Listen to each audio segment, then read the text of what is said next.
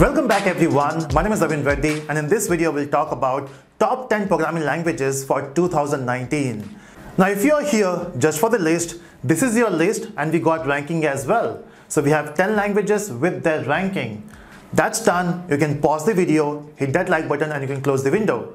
But hold on, why you want to know the ranking here? The answer is as a developer, when we use a language, when you are working on a language, you want to know the importance of that language compared to the languages. Or maybe if you are a new developer or if you want to learn programming for the first time, you also want to know what language to learn first. Should you learn Java? Should you learn Python? And that's where you want to know the top 10 languages. But what if I say every language listed here is important? It's very difficult to rank them. Yes, we have created this ranking with the help of the number of repositories on GitHub, with the help of uh, Stack Overflow questions in terms of the searches. In fact, as per the stats on Amazon, the most searched programming book is of Python. So that's why it, the ranking of Python goes up.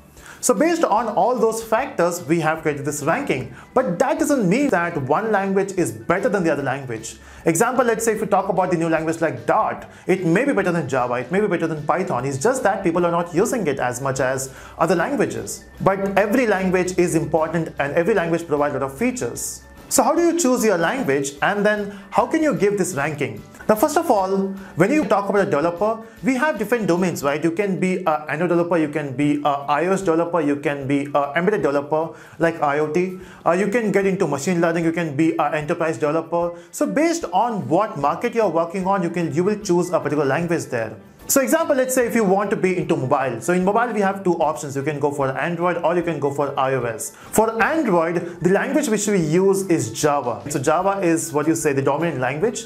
But on the other hand, we also have Kotlin. So Java was the official language before, and now we have two languages. We can use Java or we can use Kotlin. The only problem with Java is it is very verbose, right? You have to mention everything. That's not the case with Kotlin. It is short and simple. But then if you know Java, you can learn Kotlin very easily. And what if I say, when you write a Kotlin code, when you run that or when you compile that, it gets converted into bytecode itself, which runs on JVM. So yes, they are almost same now. So we have Java, we have Kotlin. Now we have to wait for the new future updates of Java from Java 8. Java is coming up with a lot of updates. So we got Java 9 with modularity, we got Java 10 features, and now in Java 11 we got so many amazing features. Java will be booming again. And we have Kotlin as well, which is getting new features every time. And then for iOS, we have a language which is Swift. Now, Swift is the official language for iOS from Apple. And if you want to be iOS developer, Swift is the best option. So, but then what if you want to use one language for both the purpose and that's where we have JavaScript. Now JavaScript is evolving like anything, you know.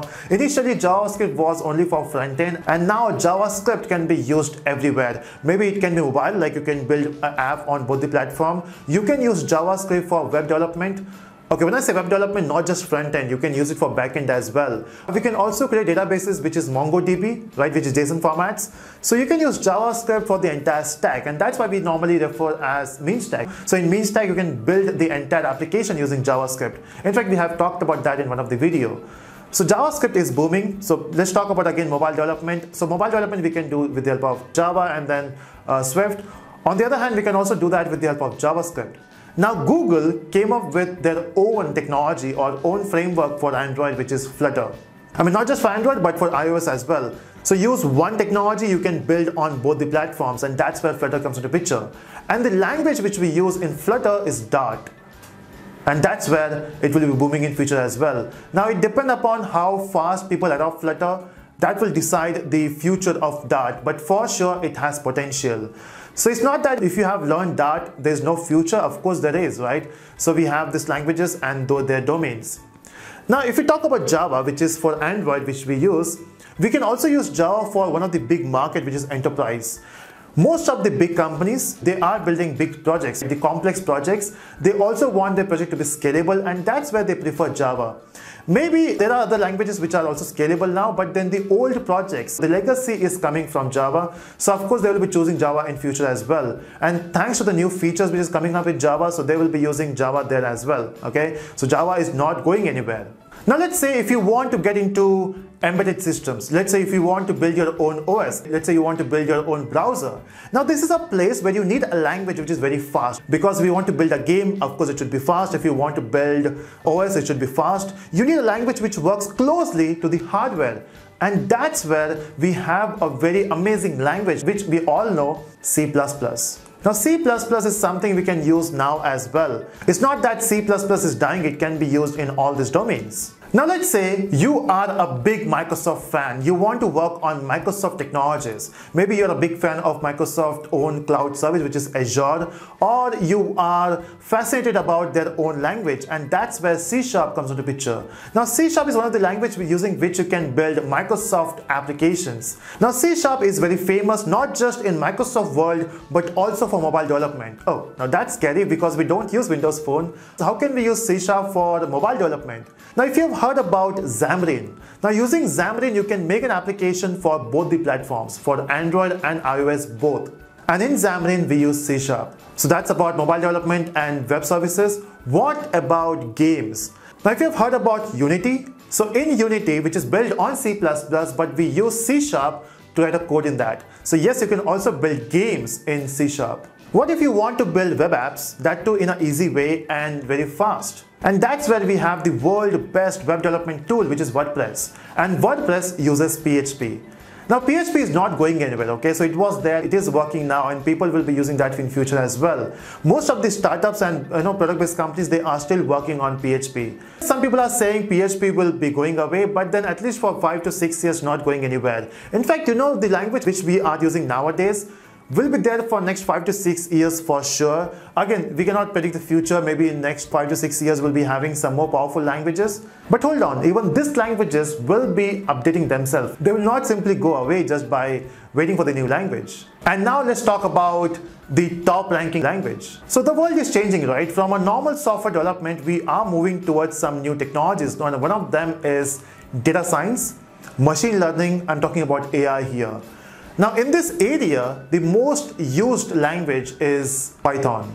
Now if you search for any machine learning course online, 90% chance is that they will be using Python there. Why Python? Because it is very easy to work on. In fact, if you can just go to description area, you will find a link for Python as well. Just watch the videos. You will find it's one of the easiest language ever. In fact, that was the main idea, right? So before building Python, the idea was to build a language which will be easier for everyone to learn. So when I say machine learning, is it only Python we can use there? Uh, not exactly. We can also use Java there. We can also use JavaScript. So in machine learning as well, let's say if you talk about TensorFlow, we have TensorFlow.js. Using JavaScript, you can do that. Or we can also use Python for TensorFlow.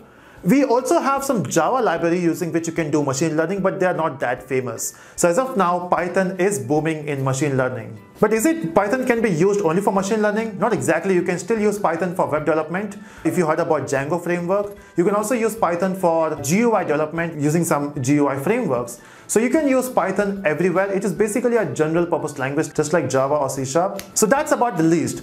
Oh, we missed one thing, which is Golang. Now, if you work with any Google Cloud services, they might be using Golang there. In fact, Dropbox, Dropbox is built on Go language or Golang. We can say that. So the important point is every language here is important. Yes, the list is based on the repositories, the list is based on the craze you have in the market, but every language is great and they have huge potential. So if you are working on any of these languages, don't worry. You're still safe okay? There's, your language is not going anywhere. The only thing you can do is the language which you're working on keep updating yourself. There are certain frameworks in that language. Learn them as well. It is powerful but there's no harm in checking out some other language. Let's say if you're working on PHP, there's no harm in checking for Python. If you're working on Python, there's nothing wrong if you can learn Java at, at the same point. But I feel, as I mentioned in the previous videos as well, stick to one technology at least for one or two years. That's very important. So that's about my ranking. I hope you enjoyed this video. Let me in the comment section. In fact, let me know what is your ranking, what you feel about these languages. And if I missed any of this language here, you can mention that in comment section as well. Also mention why that language is important if you're saying that. So that's on this video. Hit that like button and do subscribe for, the videos. Bye-bye.